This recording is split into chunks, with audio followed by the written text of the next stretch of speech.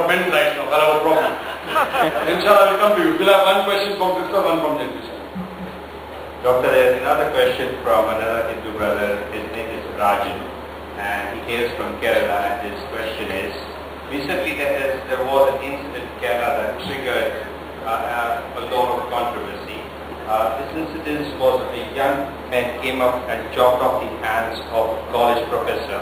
What made them do this was that the said professor had prepared a question uh, paper for a college uh, that provoked uh, blasphemy the Professor uh, Is this uh, any way okay in Islam?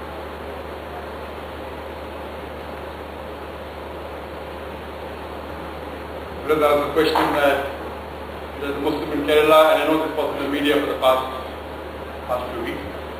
And the professor who wrote certain questions again from Muhammad in the examination, a Muslim and a chopped off hand. We have to follow the law of the country. The Islamic State, you have to take him to a, to a Qazi. But India not being Islamic State, you can't take the law in your hand. So it's not part of Islam. But the point to be noted here is, a few years back, a communist attacked a BJP leader in Kerala and killed him. That didn't come in news. Why? But my question is, a communist BJP professor उसको promoted Hinduism this communist killed him it came as news brief finish not this Muslim comes off hand it's coming for days together why why that my question is why both are wrong but the bigger crime is killing chopping off hand is also wrong but smaller crime but the big crime it comes news brief one day finish not this cake So much that the person asking me. I, I doubt whether the Hindu asking the question knows that the Hindu was killed by a communist in Kerala. You know that? I'm sure no. What we have to know that we being in the field, we should try and do bit research.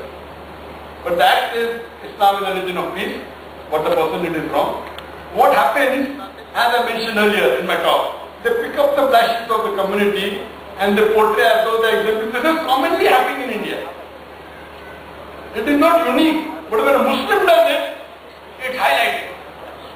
And everyone thinks only Muslims do it. As I told you, Maoists, what the Maoists kill Indians is the maximum in number. What the Hindus kill, Hindu terrorist organization, is much more than what the Muslims do. That doesn't justify it gives right for a Muslim to kill innocent human being. No, no. I'm not trying to justify that because the Hindus kill, even the Muslim can kill.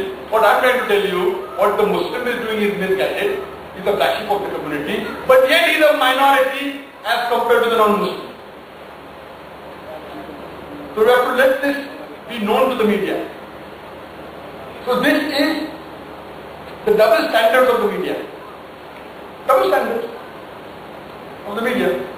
So this is how they, like, you know, people uh, me in the Indian press that oh, Muslims are terrorists.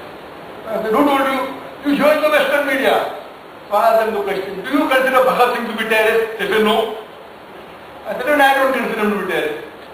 When the same UK people 60 years back called Bhagat Singh a terrorist, I disagree, you disagree. Now the same UK media, Westerners are calling Muslim terrorist, why do you agree?